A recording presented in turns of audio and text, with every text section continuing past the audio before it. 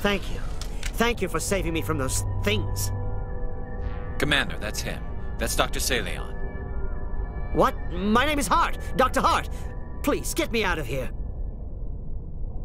Are you sure it's him? Positive. There's no escape this time, Doctor. I'd harvest your organs first, but we don't have the time. You're crazy. He's crazy! Please, don't let him do this to me.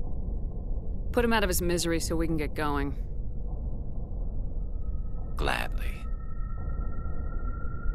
Your days of butchering are over, Doctor. No! Please!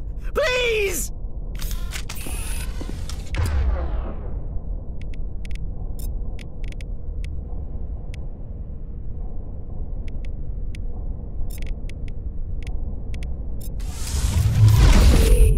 That was... satisfying. Good. Remember that feeling. That's how it should be. I will, Commander. Well, I guess we're done here.